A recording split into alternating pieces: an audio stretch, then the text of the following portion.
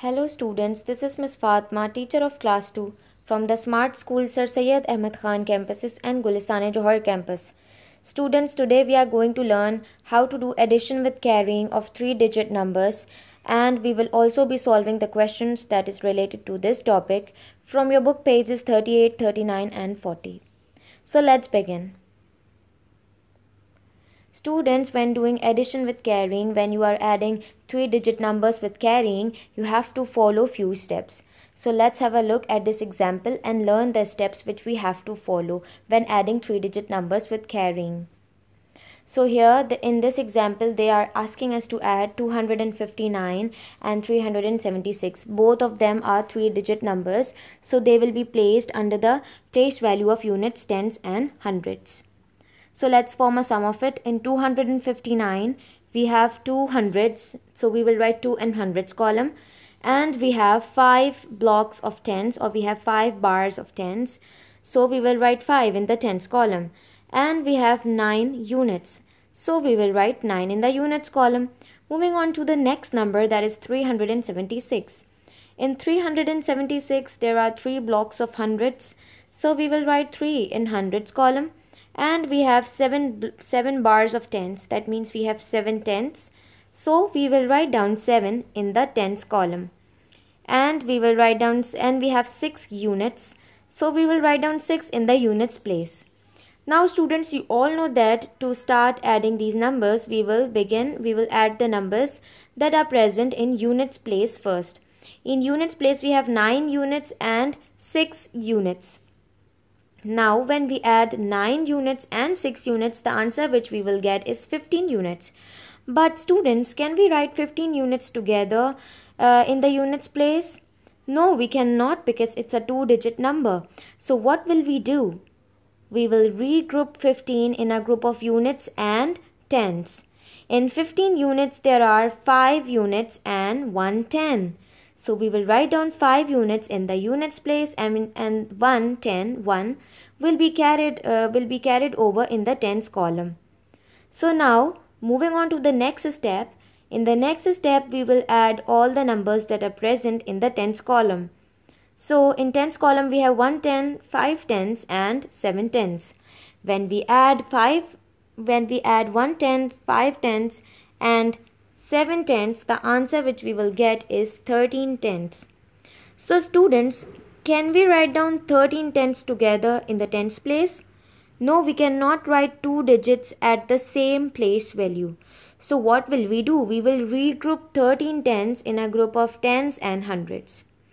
Whenever we are regrouping, whenever we are getting the answer in two digits, by adding the numbers of units, we will regroup that number in units and tens. And whenever we are getting the answer of two digits in tens place, we will regroup that number in a in tens and hundreds. So, we will regroup 13 tens in a group of tens and hundreds. So, in 13 tens, there are 3 tens and 100. So, we will write down 3 in tens column and 100 will be carried over in the hundreds column. Now look at step number 3. In step number 3 we will simply add all the digits that are present in hundreds column. In hundred column we have 100, 200 and 300. So when we add 100, 200 and 300 that will be equal to 600. So students this is how we are going to add we are going to add 3 digit numbers with carrying. So the answer which we get by adding 259 with 376 is the answer is 635. The answer is 635. So students, now we are moving on to the next questions. Now we are going to solve question number 1 which is given on book page number 39. So students, in this question we will be following the steps which we have discussed in the previous example. In question number 1, so look at question number 1. In question number 1, there is, we have to add 348 and 264. In 348, we have 3 blocks of hundreds, so we have 3 hundreds. That means we will write 3 in the hundreds column. And we have 4 bars in the tens column. That means we have 400s. That means we have 4 tens. So we will write down 4 in the tens column. And we have 8 units. So we will write down 8 in the units place. Moving on to 264. In 264, we have two blocks of hundreds. So we will write down 2 in the hundred column. And we have 6 bars of tens. So we will write down 6 in the tens column. And we have 4 blocks of units in the units column. So we will write down 4 in the units place. Now students, let's start adding the numbers in the units place. In units place, we have 8 units and 4 units. When we add 8 units and 4 units, the answer will be 12 units. But students, can we write down 12 units at the same place value? Can we write down 12 units together in units place? No, we cannot. So what will we do? We will regroup 12 units in a group of units and tens. In 12 units, we have 2 units and 1 ten. So 2 units will be written in the units place and 110 will be carried over in the tens place. Now let's add the digits in tens place. In tens place we have 110, 4 tens and 6 tens. By adding all these digits the answer which we get is 11 tenths. But again can we write down 2 digits in tens place? No we cannot. So what will we do? We will regroup 11 tens in a group of 10 and 100. So in 11 tens there are 110 and 100. So 110 will be written in the tens place and 100 will be carried over in the hundreds column. Now let's add all the digits that are present in the hundreds place. In hundreds place we have 100, 300 and 200s. So let's add all of them together. The answer will be 600. So we will write down 6 in the answer of hundreds place. So the answer which we get after adding 348 with 264 will be 612. Moving on to question number 2 which is given on the same page of your book. Add 453 and 389. In 453 we have 4 blocks of hundreds. So that means we have 4 hundreds.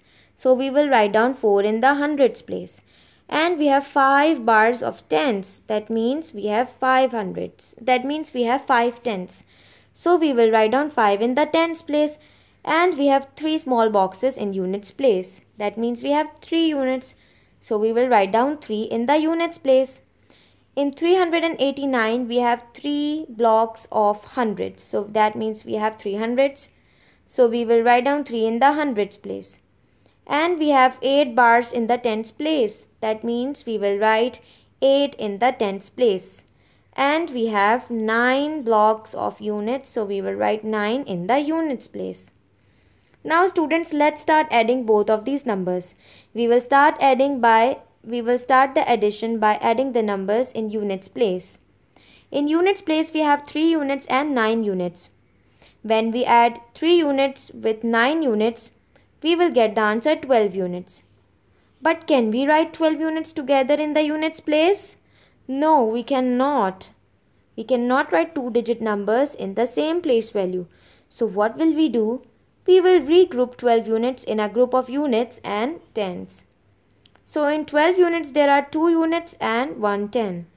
So we will write down 2 units in the units place and 1 ten will be carried over in the tens place. Now what will we do? We will add all the digits in the tens place. When adding the digits of the tens place, there are 1 ten, 5 tens and 8 tens. The answer which we get by adding 1 ten, 5 tens and 8 tens will be 14 tens. So students, can we write 14 tens in the tens place together? No, we cannot. So we will regroup 14 tens in a group of tens and hundreds.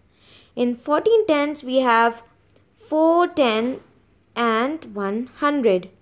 So we will write down 4 in the tens place and 100 will be carried over in the 100 place. Now we are moving on to the hundreds column.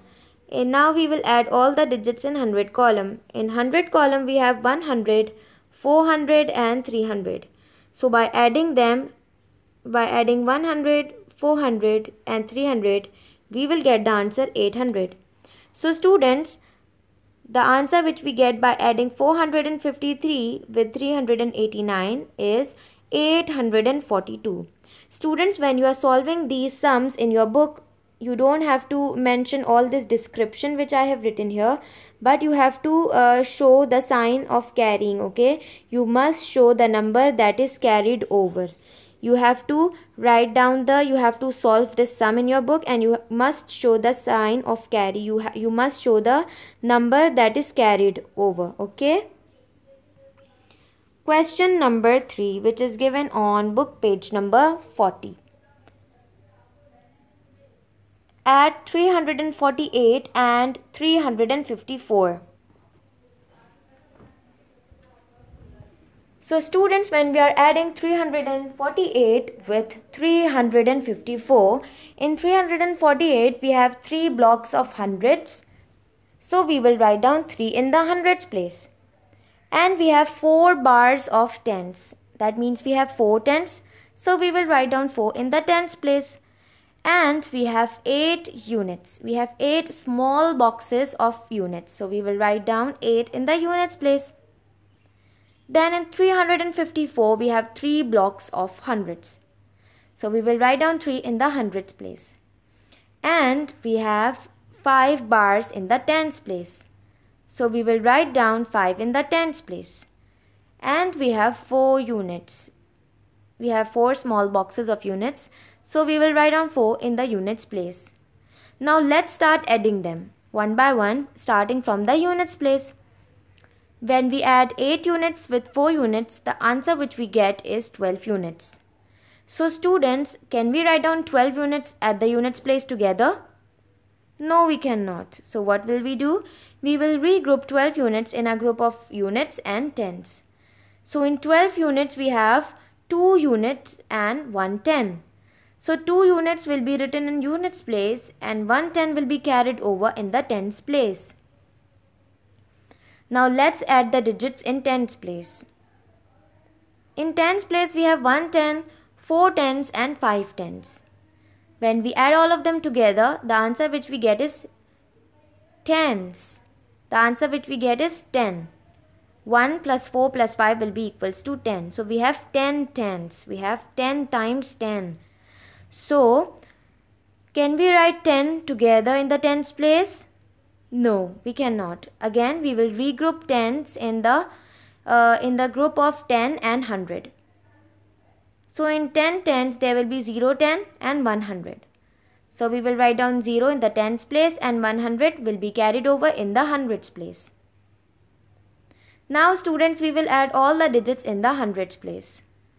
In hundreds place, we have 100, 300 and 300. Let's add all of them together. The answer which we get is 700s. So students, by adding 348 with 354, the answer which we get is 702. You must also mention this 702 in the small box that is given here where it is written 348 plus 354. Students, do, uh, do uh, remember to show the sign of carrying, okay? Question number 4. Add 429 and 496. So students, uh, in 429 we have 4 blocks in the hundreds column. That means we have 4 hundreds. So we will write down 4 in the hundreds place. And we have 2 bars in the tens column. That means we have 2 tens. So we will write down 2 in the tens place. And we have 9 units in the units column. So we will write down 9 in the units place. Then we have 496. In 496 we have 4 in the hundreds column. We have 4 blocks of hundreds. So we will write down 4 in the hundreds place. And we have 9 bars of tens. So we will write down 9 in the tens place. And we have 6 small bars, 6, six small units 6 small boxes of units in the units place. So we will write down 6 in the units place. Now we will, we will add all of these numbers starting from the units place. Let's add the numbers that are present in the units place. In units place we have 9 units and 6 units. When we add 9 units with 6 units, the answer which we get is 15 units. Students, can we write down 15 units together in the units place? No, we can't. So what will we do? We will regroup 15 units in a group of units and 10. In 15 units, we have 5 units and 110. So 5 will be written in the units place and 110 will be carried over in the tens place. Now, step number 2. Let's add all the digits in the tens place. In tens place, we have 110 that is carried over, 2 tens and 9 tens.